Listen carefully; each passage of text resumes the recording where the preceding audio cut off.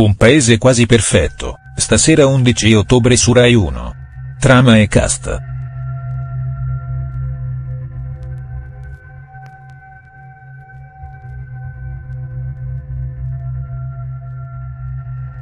Un paese quasi perfetto, il film in onda questa sera, 10 ottobre, su Rai 1. Questa sera su Rai 1, come ogni mercoledì, andrà in onda una pellicola cinematografica. Stasera sarà la volta del film Un paese quasi perfetto. La pellicola è stata girata in Italia nel 2016 ed è stata scritta e diretta da Massimo Gaudioso. Un paese quasi perfetto ha preso spunto da alcuni remake del passato, come quello del 2014 francese e quello canadese. La commedia vede recitare molti volti amati dal pubblico tra cui Fabio Volo, Silvio Orlando, Carlo Buccirosso, Nando Paone, Miriam Leone e Francesco De Vito. La storia in un paese quasi perfetto è ambientata in Basilicata, precisamente in un piccolo paese che si trova vicino alle Dolomiti Lucane. Il parco naturale in cui sorge il paese è Pietramezzana. Qui vivono diversi ex minatori, ormai tutti quanti in cassa integrazione, a causa della chiusura della miniera. Quest'ultima era al comando dell'economia di tutto il paese.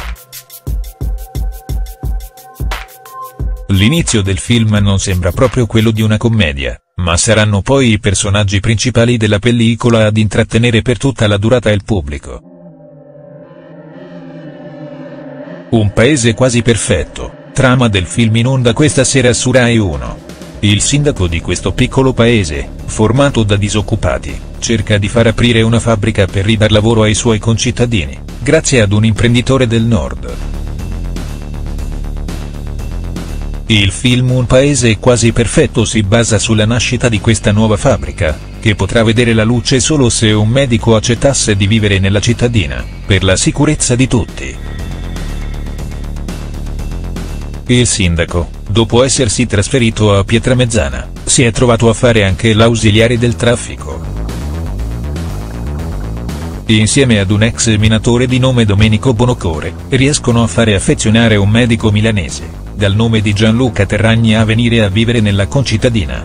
Nonostante tutto questo lavoro, la fabbrica non viene comunque più realizzata. Il direttore della banca, Nicola, si accorge che l'imprenditore del nord era in realtà un truffatore.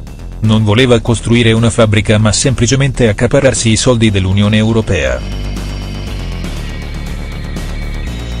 Nel paese non c'è quindi più bisogno di un medico. Quest'ultimo però aveva cominciato ad avere una certa simpatia per Anna, una giovane del posto. Per non andarsene pensa così ad un'idea, creare un centro di attrazione. La miniera, ormai da anni abbandonata, potrebbe diventare un centro benessere. Riuscirà l'idea del medico a realizzarsi? Lo scopriremo questa sera alle 21.25 su Rai 1 con un paese quasi perfetto.